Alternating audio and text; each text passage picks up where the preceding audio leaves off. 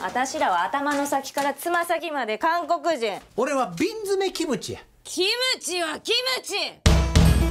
どないしたん？何そんなパパしてこの人の結婚届破ってみせたい。嘘！最低やわ最低！騒がしい路地の一角に焼肉ドラゴンがありました。どこ行くん？韓国帰るお母さん落ち着いて。クズル知事も。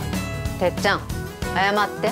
反省してます仲直りちゅうことで金ナビか歌わさせていただきます。これは小さな家族の大きな歴史の物語。お前またやられたんか。やられたらやり返さんかい。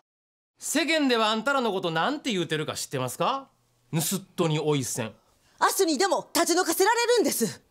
その世間一般連れてこ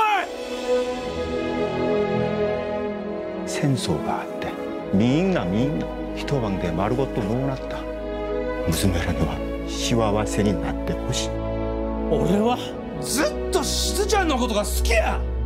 何があっても本気でぶつかり本気で生きた。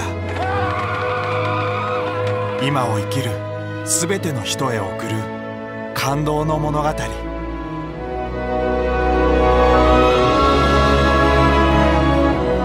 焼肉ドラゴン。